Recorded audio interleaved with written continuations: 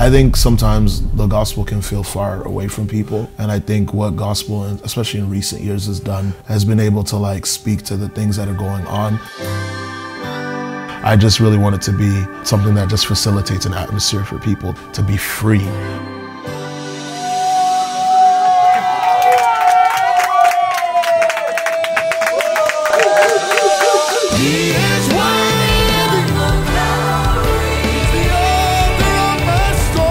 Thank you guys for coming.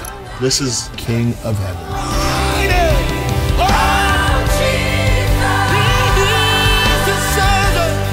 I think that it's really just trusting the voice of God and the leading of the Lord. He's really put all this together and allowed me to get in touch with Platoon and just work with Daisy and Kumi, and that's how this all happened.